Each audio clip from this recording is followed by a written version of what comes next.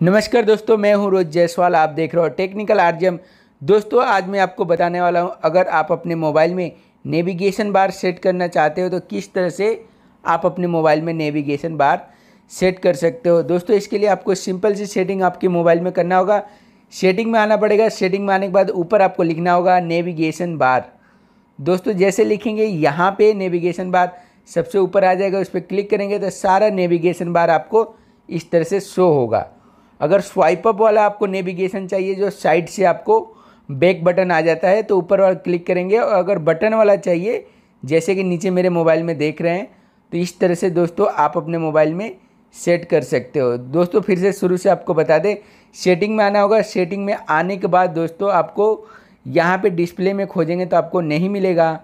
आपको क्या करना होगा? सेटिंग में ऊपर देता है सर्च का ऑप्शन चलिए हम थोड़ा बैक करते हैं और आपको दिखाते हैं। ये रहा ऊपर सर्च का। ये सर्च में आपको लिखना होगा नेविगेशन बस अब तीन चार अक्षर नेविगेशन लिखेंगे। आ गया ऊपर क्लिक करेंगे।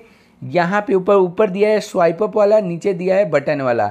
दो तरह के नेविगेशन बार दिया है। दोनों में आप जो चाहें वो नेविगेशन बार आप अपने मोबाइल में सेट कर सकते हो। दोस्तों, ये वीडियो कैसा लगा कमेंट करके बताइए। वीडियो अच्छा लगा तो लाइक कीजिए चैनल को सब्सक्राइब कीजिए और शेयर कीजिए दोस्तों। मिलते हैं आपको नेक्स्ट वीडियो में। Thank you so much